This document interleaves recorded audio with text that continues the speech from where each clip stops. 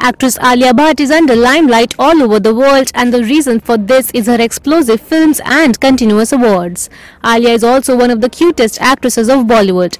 Alia Bhatt and Ranbir Kapoor are also in the limelight these days for their daughter Raha. Recently, Raha Kapoor's photo with her late grandfather Rishi Kapoor has gone viral. Meanwhile, now a video of Neetu Kapoor and Alia Bhatt has surfaced in which the lovely bond of both is visible.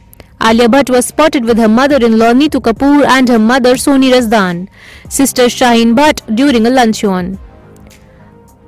Alia Bhatt shares a very good bond with her mother-in-law Neetu Kapoor. Both are often spotted together, be it during Kapoor's Christmas lunch or a party with the family.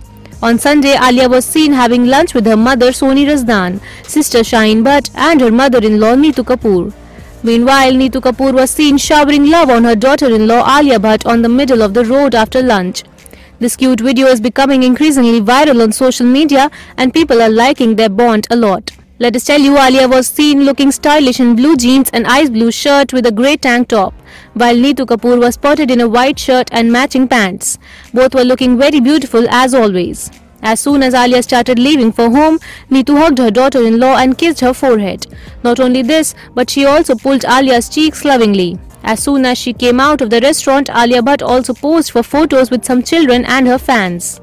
The video of which is going viral on the internet. Seeing such a lovely bond between the two, social media users are also leaving emotional and lovely comments. Talking about her work front, Alia Bhatt is going to be seen in films Ji Le Zara and Jigra. She is also a part of Sanjay Leela Bhansali's film Love and War, in which she will share the screen with Ranbir Kapoor and Vicky Kaushal.